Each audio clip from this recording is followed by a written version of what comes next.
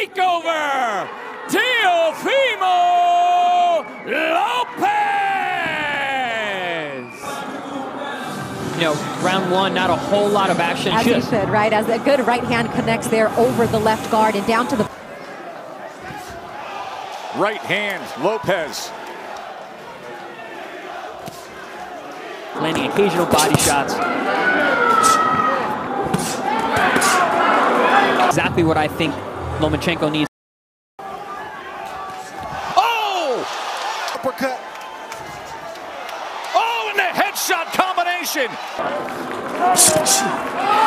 Great weapon against the southpaw. Lomachenko doing quite well when he's pushing the action, letting his hand.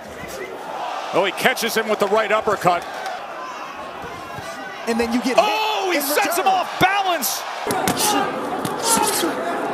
Work here on the inside. I think Loma. That's still fair, that's put- fair. Gonna be a lot of I told you so coming from Teofimo and his father. They felt it. But Loma probably winning the first qualified and score at the same time. Um, I was hearing Knew it amidst reported chaos. Look at this finish from Teofimo. Two right hand. Fimo 311 is the most he's ever thrown in a fight.